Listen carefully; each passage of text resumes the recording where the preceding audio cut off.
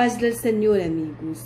Hoy quero hablar de um verso de la palabra de Deus que está em Isaías, em el capítulo 48, versículo 12, que diz: Dame atenção, ó Jacob, e tu, ó Israel, a quem he amado.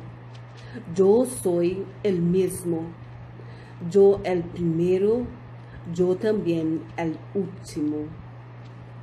Quando el Senhor disse estas palavras a Jacob, quiso dizer: Não temas, porque eu sou um Deus poderoso e he estado contigo desde tu nascimento e estaré contigo hasta el fim. E não há armas contra ti porque yo soy tu Dios, el Dios que ha hecho y lo que hago lo imposible en tu vida. Hemos llegado a este fin de la semana, porque las promesas de Dios a la vida de Jacob se han extendido a nosotros.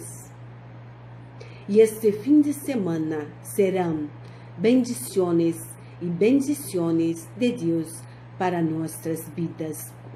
Feliz fim de semana, meus amigos de Facebook.